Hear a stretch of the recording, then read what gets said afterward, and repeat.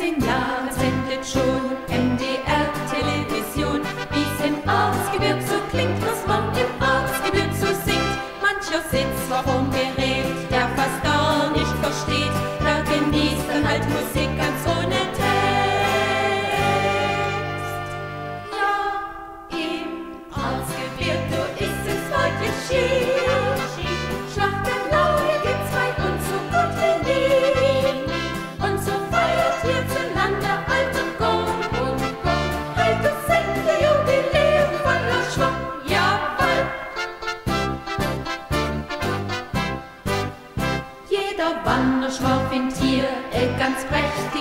happier.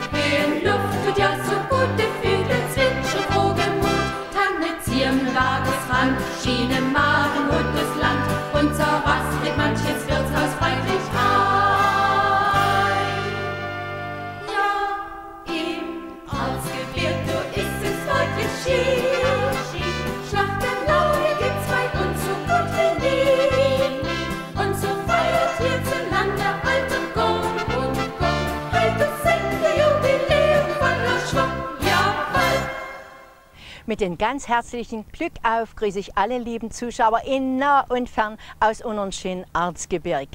Ihr habt richtig gehört, wir haben heute in Grundsinn feiern. Der vor genau Jahren habe ich euch, liebe Leute, zu meiner ersten Sendung So klingt's bei uns im Arzgebirg im MDR eingeladen und begrüßen dürfen.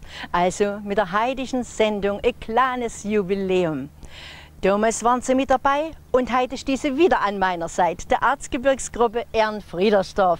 Nun könnt ihr euch denn noch an die erste Sendung erinnern, was ihr da so gesungen habt? Also Marianne, das ist so lang her, das wissen wir nicht mehr. Das glaube ich euch. Also gucken wir doch einmal rein. Doch nicht heut noch Bergmast muss in der Hamid Waldernau. In der Waldau,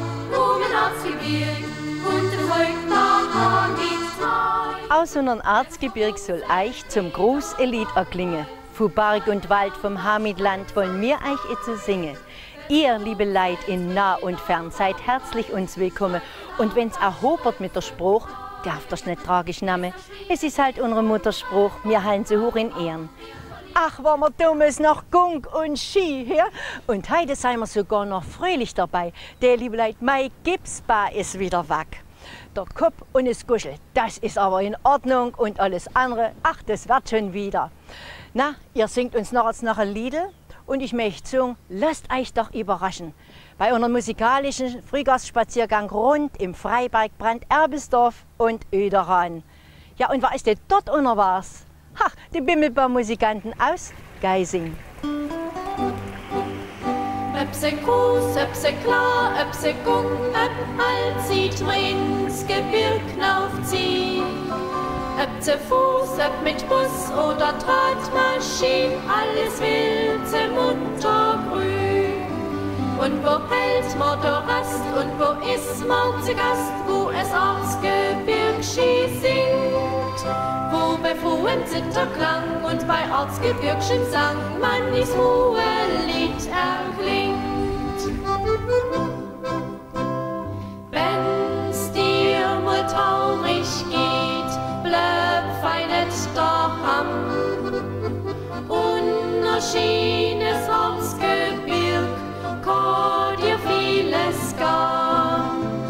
Drüm lieber Haar mit Freund, bleib dein Flagge. Bist du nicht sehr weit davor, geh fein nicht vorbei. Bist du nicht sehr weit davor, geh fein nicht vorbei. Und da singt Ader Fink und der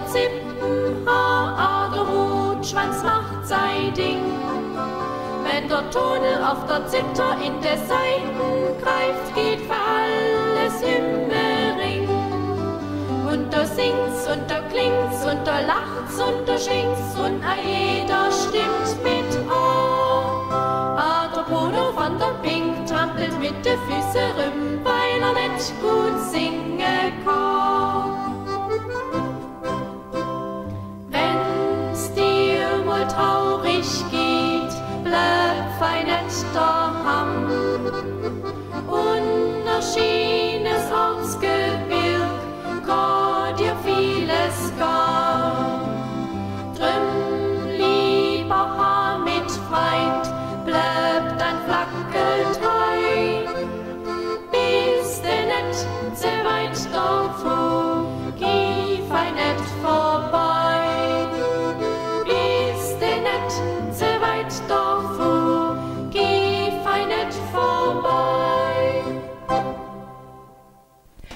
Weg nach Freiberg habe ich einen kleinen Umweg über Kolmnitz gemacht und da habe ich was Einmaliges entdeckt.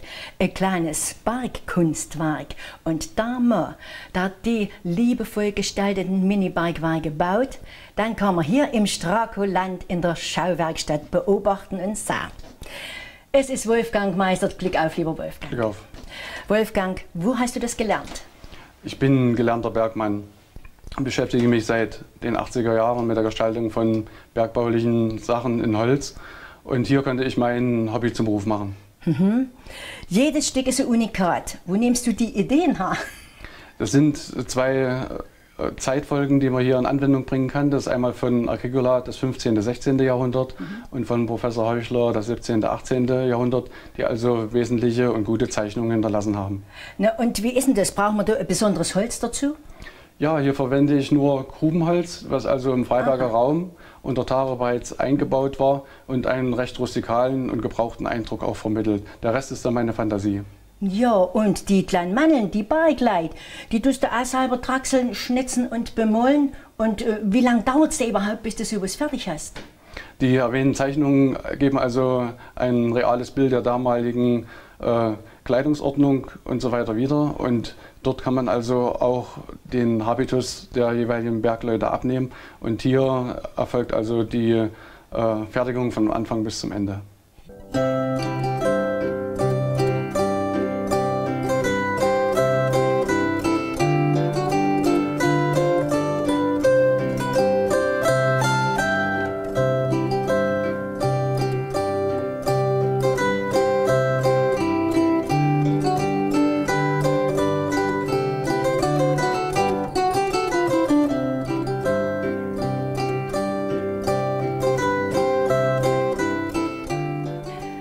Wolfgang, jedes Stück ist ein Einzelstück.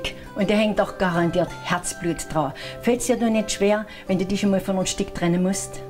Natürlich hängt da viel Herzblut dran. Nach einer Fertigungsdauer von ca. 15 bis 60 Stunden ist natürlich so, dass man dann auch viel Liebe reinsteckt, viel Ideen reinsteckt. Aber wenn man weiß, dass ein Bergbauliebhaber so ein Stück erwirbt, geht das natürlich viel leichter. Na, ich glaub dir das. Vielen Dank. Ich wünsche dir für die Zukunft noch viele schöne, gute Ideen. Und mir, liebe Zuschauer, wir machen einen nach Freiberg. Dort erwarten uns schon die Freiberger Bergsänger. Die jungen Männer haben auf der Bergakademie neben der Wissenschaft natürlich auch ihre gemeinsame musikalische Oder entdeckt. Freue dich, Freiberg,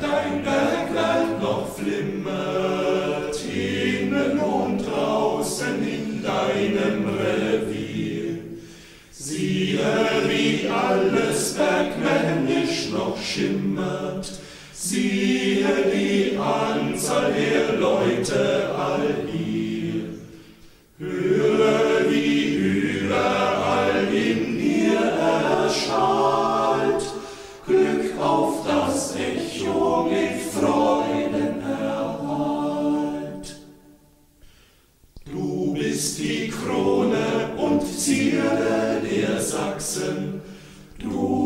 der Silberberg einzig noch hier. Dich hat der Höchste so lassen anwachsen, dass man noch immer da findet in dir reichlich Metallen in Gängen und Klüft, die man bei anderen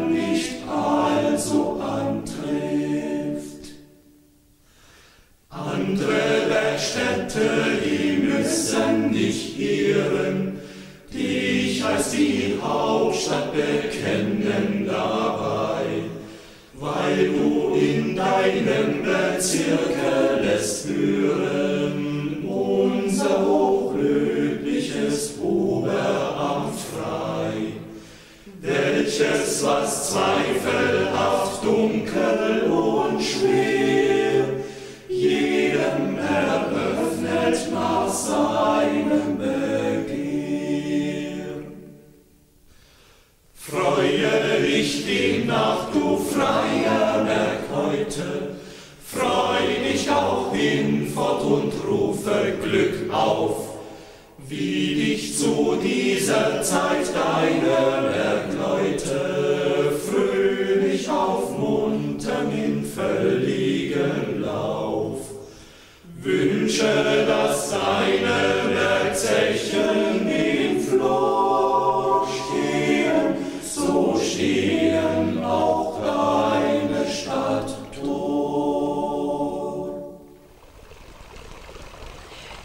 Zuschauer, da sind wir auf dem Freiberger Obermarkt.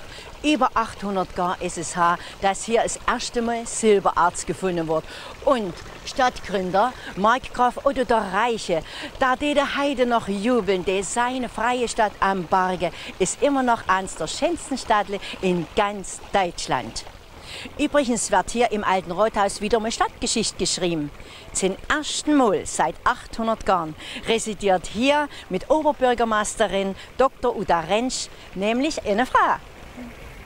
Liebe Leute, ich müsste ein paar Stunden reden, wenn ich alle Sehenswürdigkeiten von Freiberg aufzählen wollte. Aber an eine paar da wollen wir doch erinnern.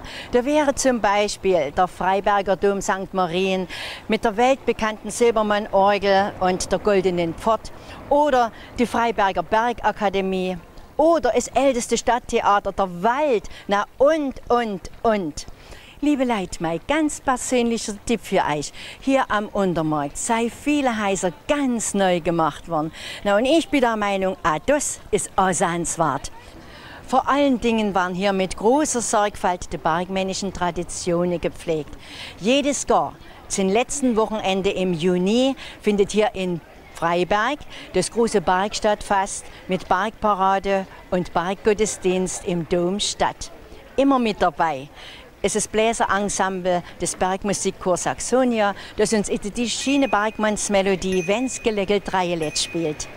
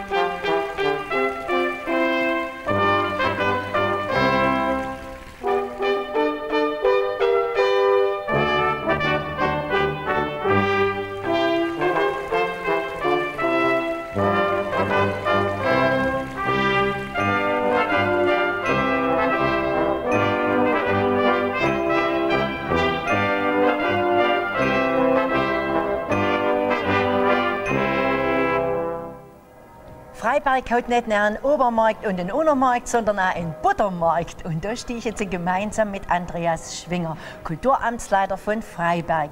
Andreas, die Nikolaikirche ist in alter Pracht wieder ganz neu entstanden. Wird sie auch als Gotteshaus geweiht? Nein, das wird nicht stattfinden. Sie wurde bereits 1974, 75 von der damaligen Gemeinde an die Stadt Freiberg verkauft, hatte dann ein unrühmliches Dasein bis 1990 als Obstlager und als Lager auch für die Kulissen des Theaters, aber ist seit 1991 umfangreich für rund 6 Millionen Euro instand gesetzt worden und steht uns jetzt als Konzert- und Tagungshalle Nikolaikirche den Freibergern und auch den Gästen zur Verfügung. Welche Veranstaltungen seid ihr dazu geplant für die Zukunft? Die unterschiedlichste Art. Wir sind noch ein bisschen in der Testphase, aber konkret im Juni finden noch statt die Vorstellung des Schauspiels Jedermann von Hoffmannsthal, inszeniert vom Mittelsächsischen Theater, ein Kästnerabend, Sinfoniekonzert, Konzert des Freiberger Knabenchores und als Abschluss am 30.06. die Carmena Burana von Orff. Da waren sich aber die Freiberger und ihre Gäste unwahrscheinlich freie über das Schiene Konzerthaus. Und für uns, liebe Leid, erklingt jetzt ist Heideröslein in der Nikolaikirche, gesungen vom Freiberger Knabenchor unter der Leitung von Wolfgang Eger. So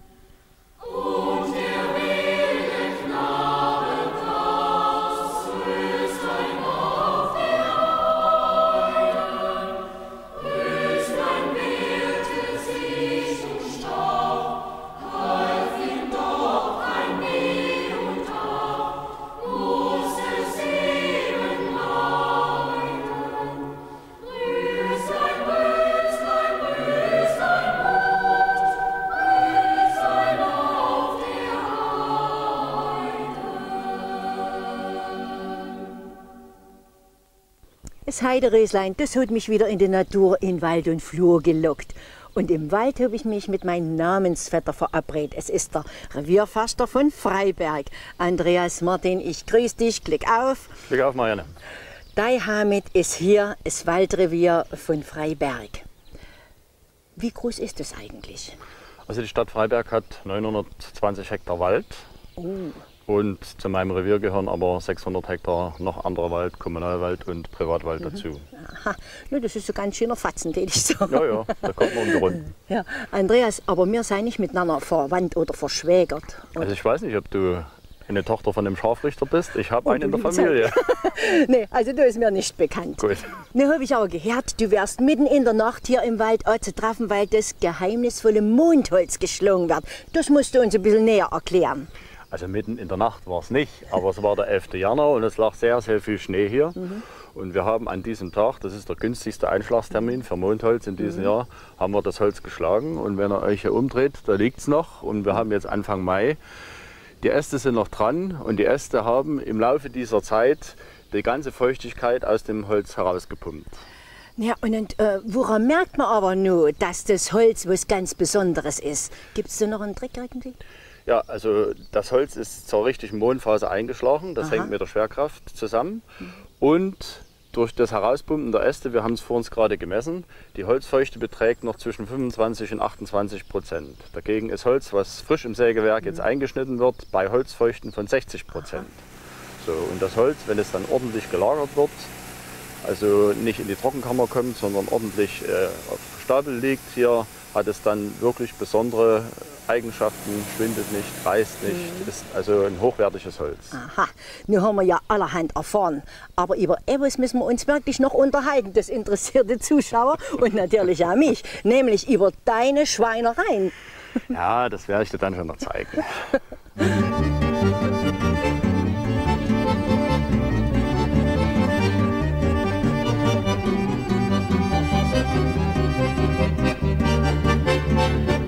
Andreas, du hast dich ja fix imgezogen, aber das hat auch seinen guten Grund. Denn wir alle wollen doch noch ein bisschen was über deine Schweinereien erfahren. Ja, Schweinerei mit Kettensägen mache ich. Das ist mein Hobby. Habe ich vor drei Jahren einfach mal das Werkzeug gewechselt. Bin im Erzgebirge groß geworden, habe mit Schnitzmessern bis jetzt schon Sauen geschnitzt. Und nun habe ich gesagt, probierst das halt mal mit der Motorsäge. Du Und das ist, meine Güte. das ist eine ganz besondere. Das ist die erste Sau auf Rädern. Denn, denn die geht nächste Woche mit zu unserem Bundeswettbewerb von den Bläsergruppen und wir wollen als Gruppe die vor uns als Glücksschwein auf die Bühne ziehen. Aha. Na, aber die sieht doch schon ganz gut aus. Ist das Schwein schon fertig? Nein, nein, Marianne, jetzt geht's los. Da musst du aber bitte noch ein Stück zur Seite treten. Na, ist gut.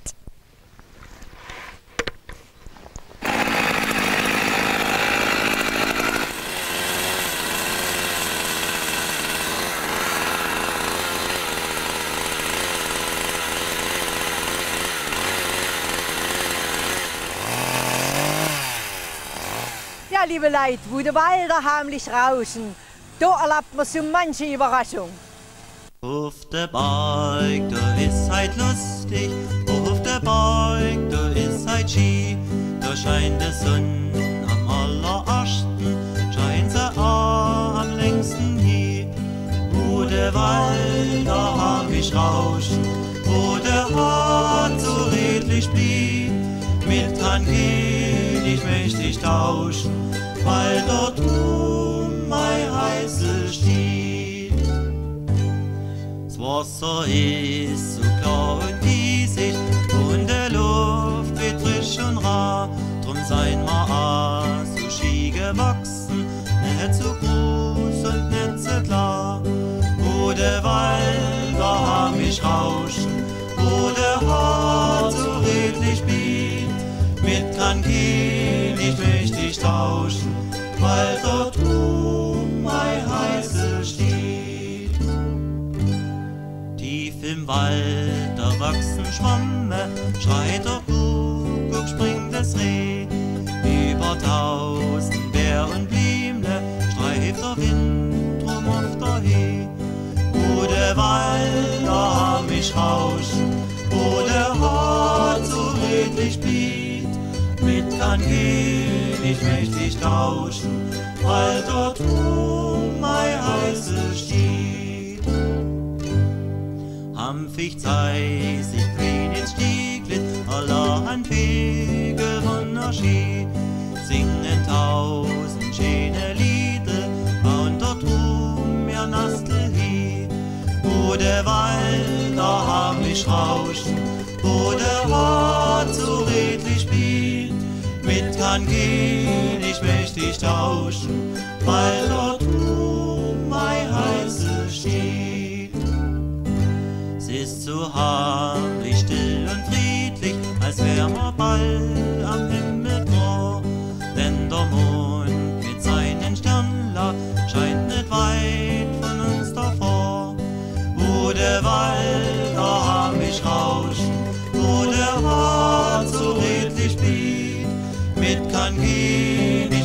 ich möchte dich tauschen, weil dort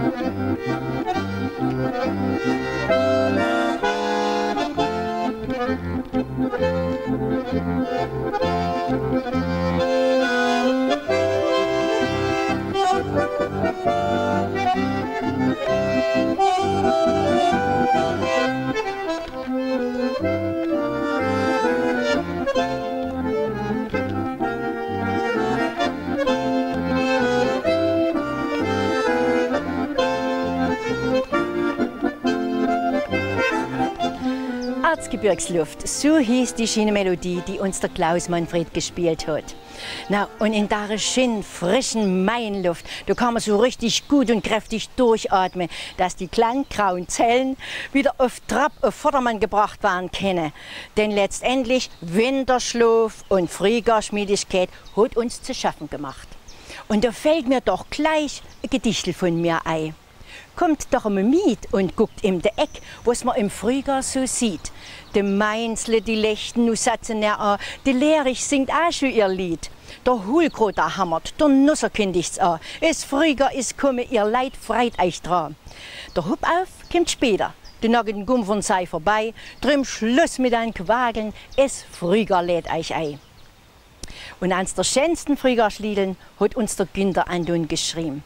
Wenn's Frühjahr kommt und mit dein Liede, da wollen wir an unseren Günther Andun, an Dola Hans Donel erinnern, da am 29. April sein 65. Todestag hatte.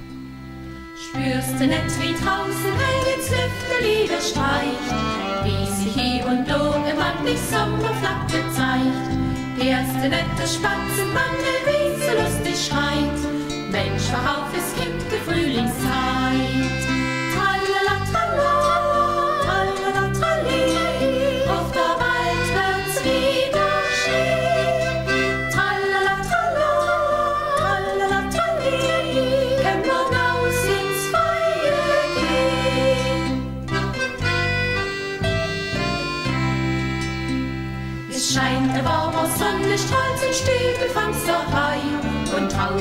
Der der Winter ist vorbei. Der stapelvolle Tore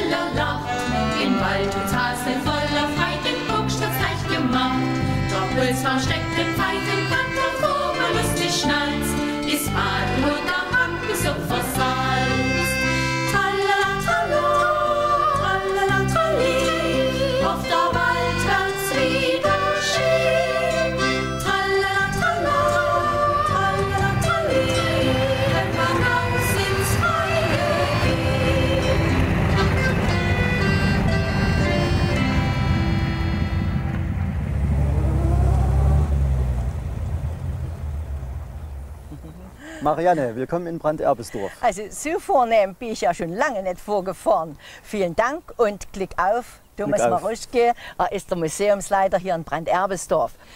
Na und das schöne Auto hier, gehört das auch zu euren Museumsstücken?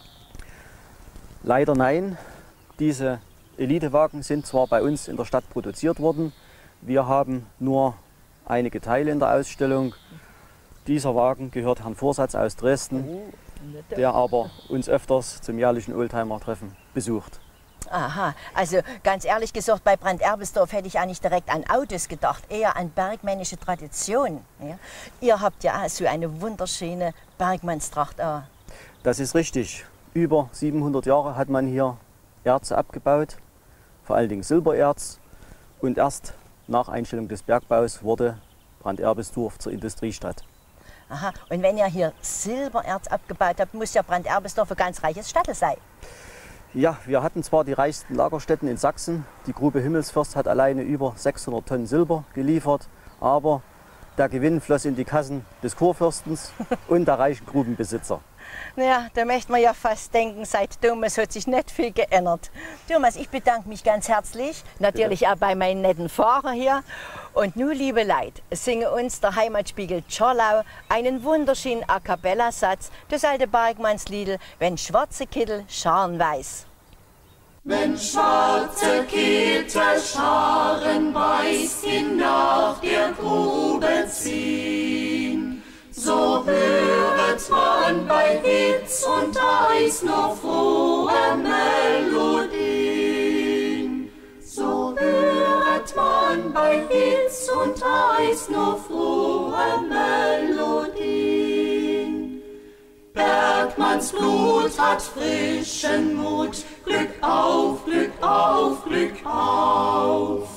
Ja, Bergmanns Blut hat frischen Mut, Glück auf, Glück auf, Glück auf. Und eh der Schwarz schwarze Kittelmann hinab zur Grube fährt.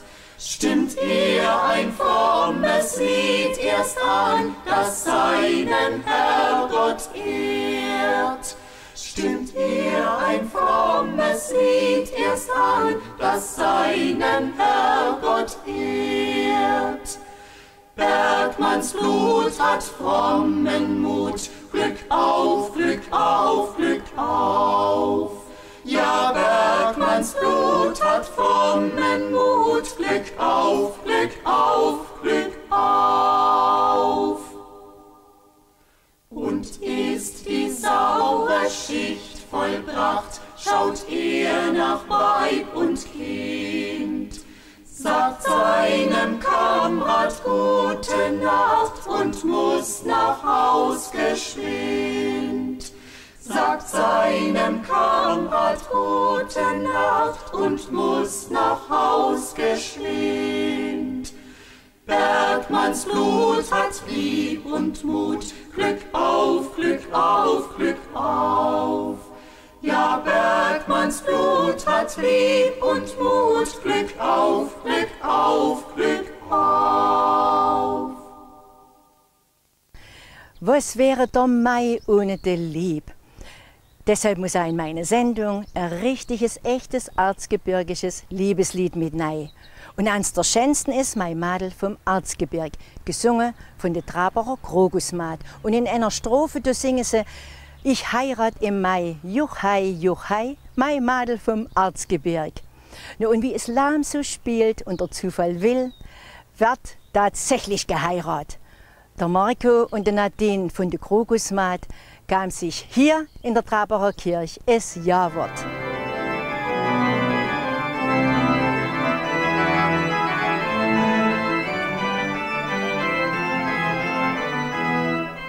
Der Breitschirm, was?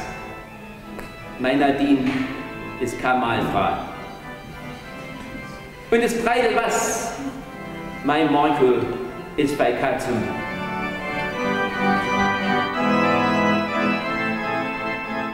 Reicht einander die rechte Hand. Was Gott zusammengefügt hat, das soll der Mensch nicht scheiden.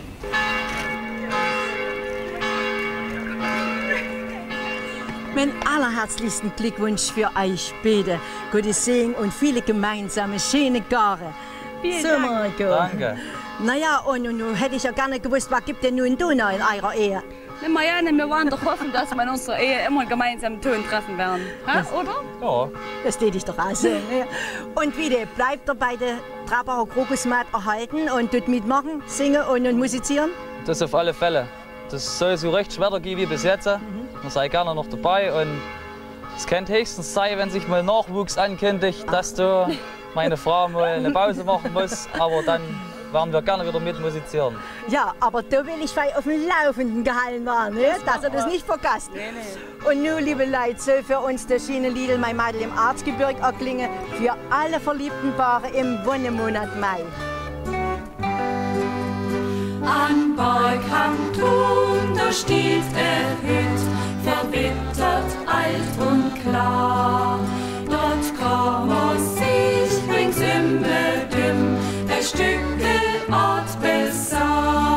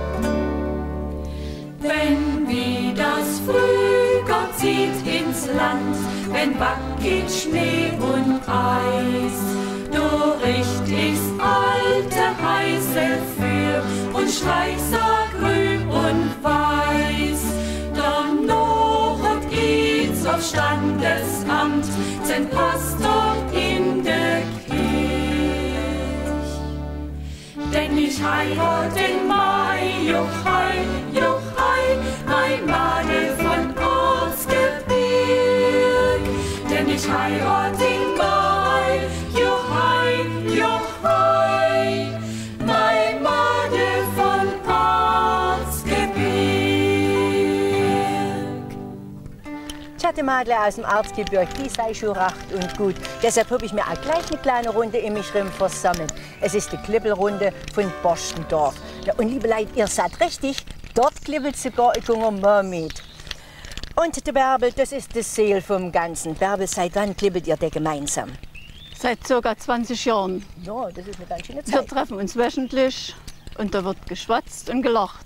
Und keinem stört das Leppelgeräusch. Das kann ich mir vorstellen, dass da was losgeht. Und wenn ich aber so gucke, sitzt Gunk und Alt zusammen und klippelt. Nachwuchssorgen hast du wohl keine? Oh doch, das könnte besser sein mit dem Nachwuchs. Ach, das ist natürlich schon drin. Ja? Aber warte mal die Sendung ab, vielleicht wird es nachher besser. Wenn ich so gucke, ach, es waren ja herrliche Deckeln und Spitzen geklippelt. Wunderschön. Und das ist die Ingrid, die ist der Fachfrau für die wunderschönen Blüten. Ja, Marianne, das Blütenklippeln macht mir besonders viel Freude. Nun, verrat uns doch einmal, wie entsteht denn so eine wunderschöne Fuchsienblüte? Die Fuchsie habe ich aus zwei Teilen gekleppelt. Und die wird dann zusammengesteckt. Ach, und noch in Form gebracht. Ja. Wunderschön. Also ich bin begeistert von diesen herrlichen Fuchsienblüten und überhaupt. Nun gibt es natürlich auch in unserem Arztgebirg ein wunderschönes Lied über die flässigen arztgebirgischen Klöpplerinnen und das singen uns jetzt die Maat vom Arztgebirgsensemble Aue. In Gebirg, da wird geklippelt, schon seit ein paar hundert Jahren. Bis der Nacht nei wo gearbeitet, wie das früher am so war. Neben Licht von Klippeflasche, soßen sie Tag aus ein. Tüchtig mussten sie freischaften und missbracht ja auch nicht ein. Schluck im Schluck, Note stecken, Schluck im Schluck, komm, schlaf nicht ein. Schluck im Schluck, Schluck im Schluck muss fleißig sein.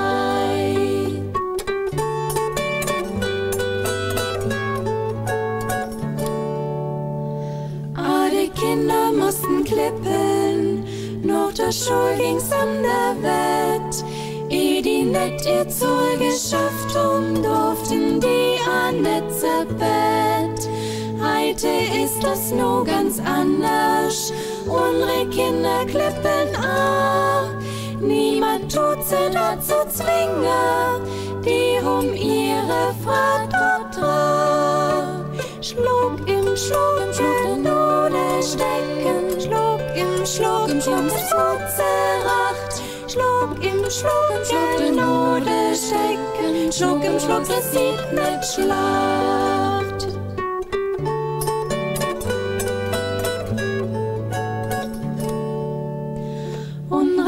Volkskunst wird erhalten, Gung und Alt hilft. Und beim Master in sein Fach ist, dann fällt immer etwas ein. Neue Muster sei entstanden, die gefallen bestimmt a dir. An den Rock ist so ne Botte, das ist doch der schönste Ziel. Schluck im Schluck, Node stecken, Schluck im Schluck, wie schön das sieht. Schluck im Schluck, der Node stecken, Schluck im Schluck und sing ein Lied. Herzlich willkommen ihr dran. Schön, dass es mit dem Besuch geklappt hat. Na, ich freue mich natürlich. Ah, und ihr seid die Adlichen von Niederrans. Na, nicht ganz. Wenn ich vorstellen darf, das ist Ranius und ich bin seine Frau Edda. Und uns hat die Stadt ihren Namen zu verdanken. Ja, und wie kam denn das? Ja, Marianne, die Legende besagt, dass ich, der fränkische Kaufmann Sebald Ranius, mit meinem Diener hier entlang geritten bin. Ich wurde leider von den Räubern vom Schellenberg überfallen, leider auch erschlagen. Mein Diener konnte seine Haut retten. Er wurde von Mönchen aufgenommen gesund gepflegt. Diese haben ihn in die Heimat zurückgeschickt. Im darauffolgenden Jahr ist er mit meiner Witwe, mit Edda, an derselben Stelle vorbeigeritten, hat ihr das Grab gezeigt. Sie hat die Mönche, die sich hier niedergelassen haben, reichlich beschenkt. Und sie haben mir einen Gedenkstein gesetzt, auf dem in lateinischer Schrift äh, geschrieben stand Edda Ranio, zu Deutsch die Edda dem Ranius.